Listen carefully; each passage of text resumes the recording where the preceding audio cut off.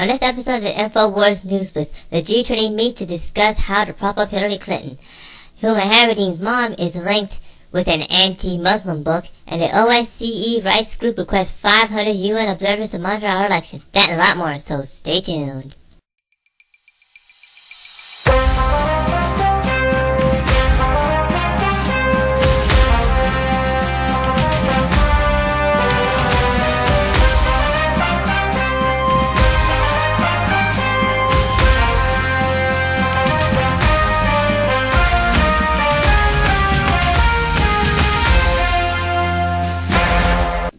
For the week of September the 5th, 2016. This is the first article today, and it's an article written by, well, the CNTV network.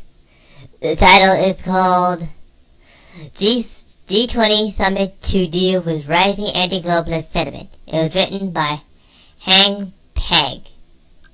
Why bother, China? China runs our dead.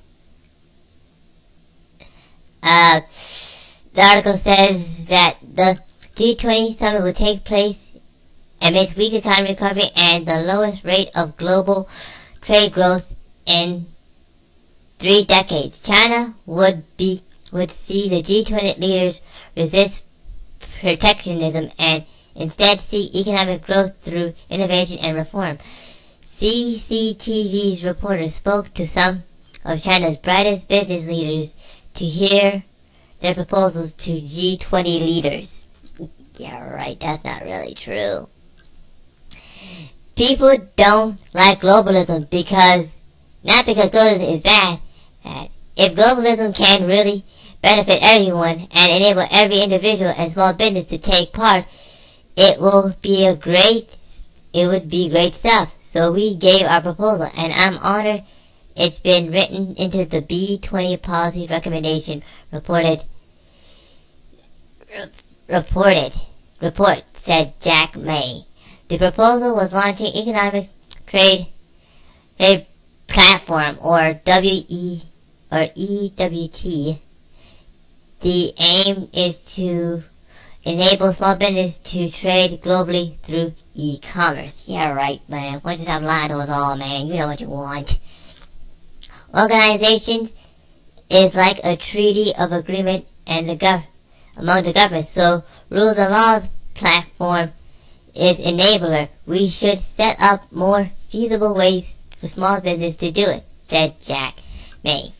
As commerce, as a commerce tycoon, it is trying to fight anti-globalism through innovation. Others, others leading businesses figure out a direct urge policy changes from the G20 leaders. Alright. I think I read that up there. So, here's a clip about Al Jones speaking about that. Meanwhile, G20 summit to deal with rising anti-globalism. The globalists are meeting. The leaders of nations are meeting to, to try to organize, they admit, and stop their own populations, stopping them from stealing their sovereignty. That is a very, very important article.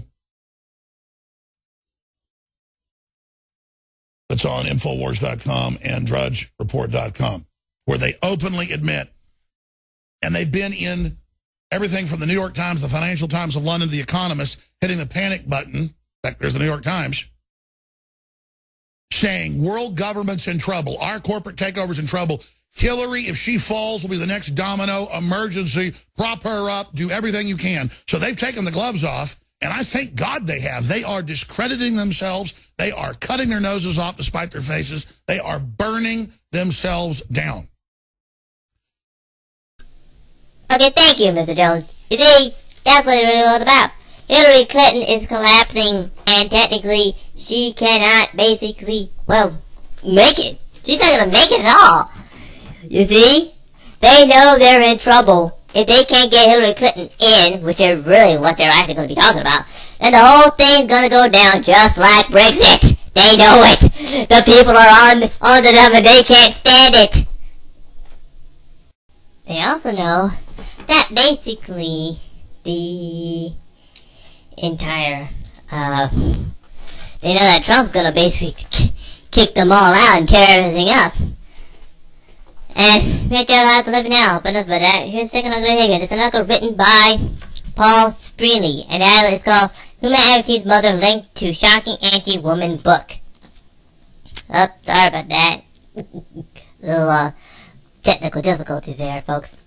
As Secretary of State, State single woman's women's rights champ Hillary Clinton, which we all know she's not, not only spoke at a Saudi girls' school run by her top aide Huma Abedin, anti-feminist mother, but Clinton invited the elder Abedin to participate in an State Department event for leading thinkers on women's issues.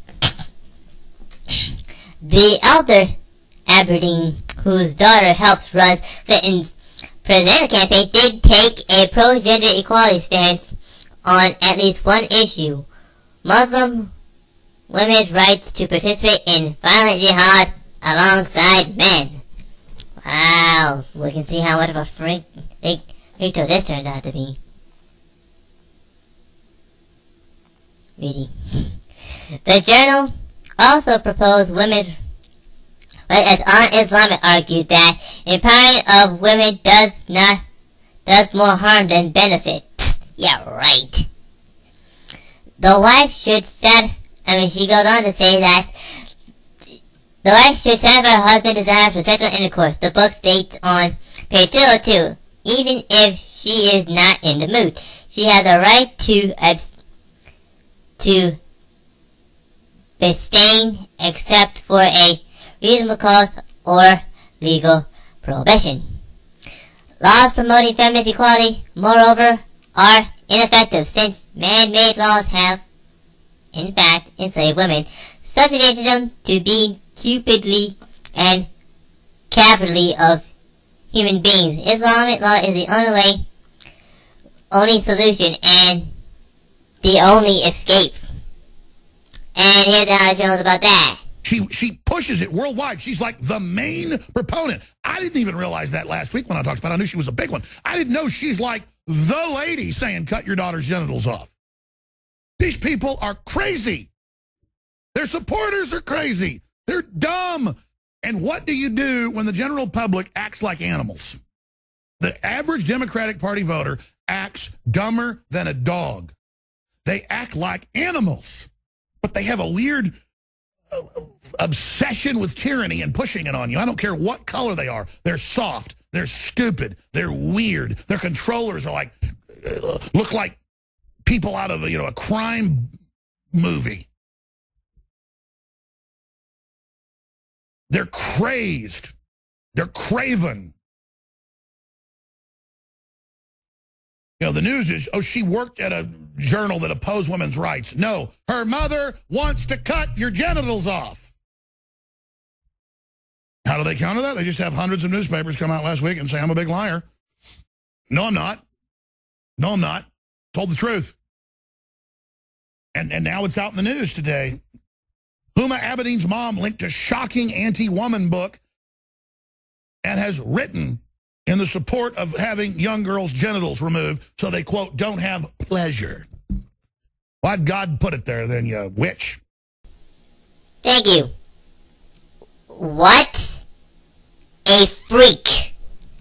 I mean, Oh, I mean, already know what Paul Newman said, alright, so, well, so I'm not gonna say anything about this, but that's what it is. They're nothing but a bunch of freaks. They're freakish. That's all I can say. They want to mutilate make women up one side and down the other, and they think it's fun and cool to absolutely do it. We cannot let this woman into the White House. I mean, we can't just, we, we, we can't do it a woman will be wearing nothing but burqas and hijabs. And they, and, and she'll just let them all in. I mean, we're already, we're already swinging knee deep in, in Muslims already, and they're keeping it a secret from us. We cannot let this woman in. But enough about that. This is the last article here, and it's article written by Reuters. The title is called OSCE Rights Groups Request 500 inter International Observers to Monitor U.S. Presidential Vote. They mean they're about to steal it.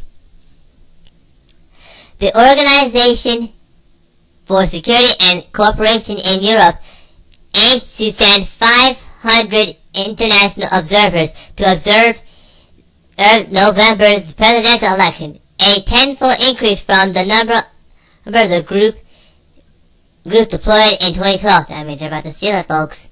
A coalition of more than 20, more than 200 U.S. civil rights groups urged the OSCE in a letter released on Tuesday to provide even more, even more than 500 observers.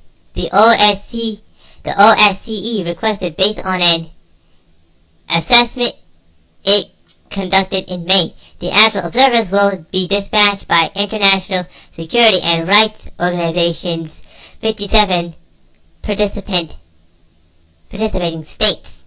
Children advocates say voters are more likely to face racial bias at the polls on November than they have in 50 years because of the voting laws that several states passed after the Supreme Court struck down the landmark Anti-Discrimination 1965 Voting Rights Act three years ago. Supporters of the law say they are necessary they are necessary to combat voter fraud.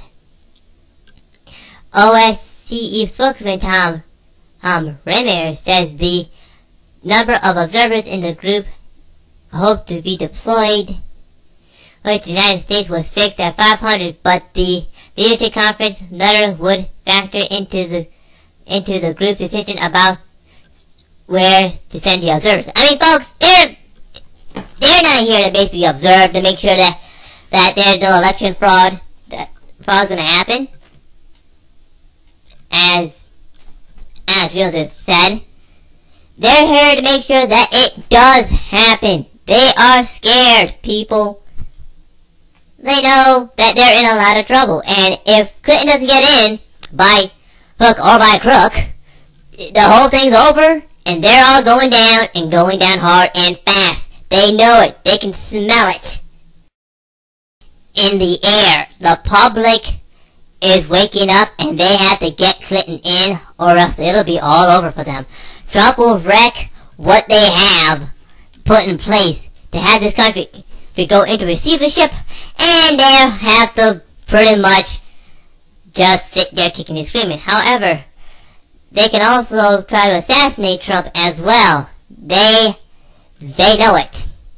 They know that, that that that will be their only option left, or crash the economy, which is also something they could also do. But enough about that, folks. This is basically it. I mean, I mean, the video's over.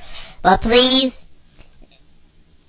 please go to infowars.com and prisonplanet.com. There you can find hundreds of articles just like this one that you, I have read for you today, or go to the link below. You can see all the videos there. All the articles I have right there. This is the InfoWars News Blitz. I'm Info Gundam, level theory number 3 please like, subscribe, and donate. And also, folks, please go to my YouTube page. It's, I have a PayPal account now up on the page itself, so you can go there and donate. I really do need your support. Bye-bye.